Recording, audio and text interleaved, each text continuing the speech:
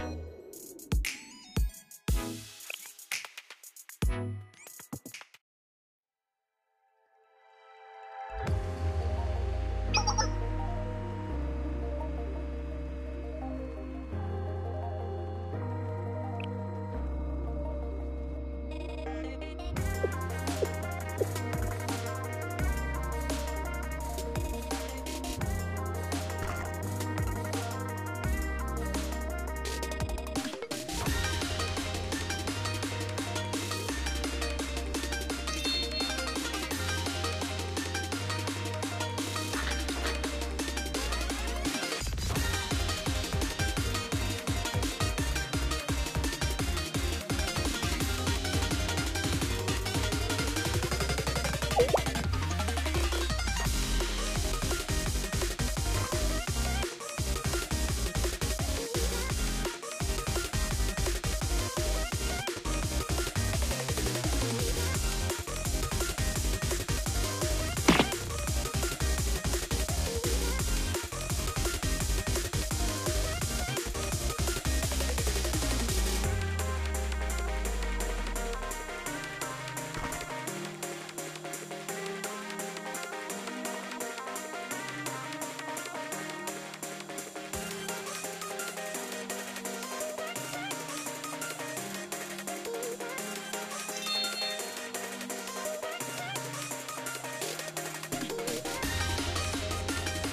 特別依頼を行えるようになりました。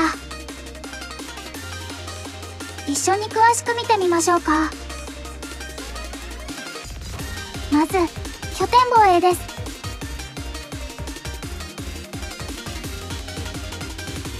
拠点防衛とは押し寄せてくるたくさんの敵を退治する任務です。報酬としてレポートを獲得できます。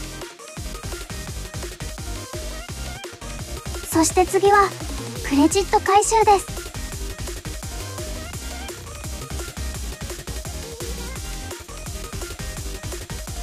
クレジット回収は制限時間内に素早く敵を倒さなければならない任務です。